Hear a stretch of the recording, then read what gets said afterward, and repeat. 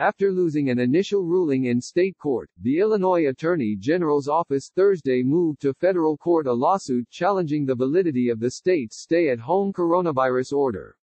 Attorney General Kwame Raoul's office stated in its court filing that it was moving the case from state court because it involves U.S. constitutional rights of free religion and due process.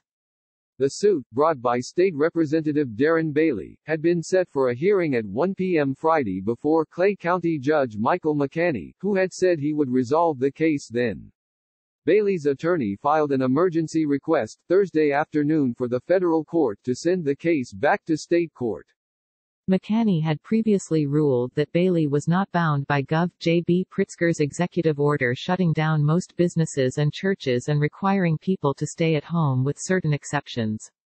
Bailey is now attempting to broaden that ruling to make the order invalid for all citizens statewide.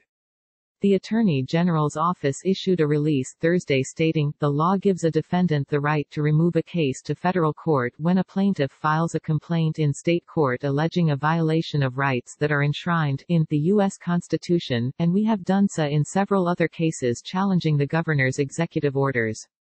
Pritzker had blasted McHaney's ruling, and called Bailey's actions a political stunt that was endangering people's health.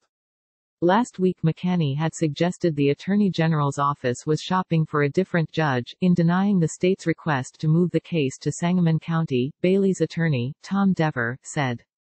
Bailey argues that the stay-at-home order is too restrictive and is unnecessarily jeopardizing people's livelihoods. In a statement, DeVore called the state's move to federal court disreputable forum shopping, saying the Attorney General and Governor had contrived constitutional issues that he never raised in his suit. He said he trusted the federal court would send the case back to state court. Bailey was removed from the General Assembly meeting Wednesday in Springfield for refusing to wear a mask.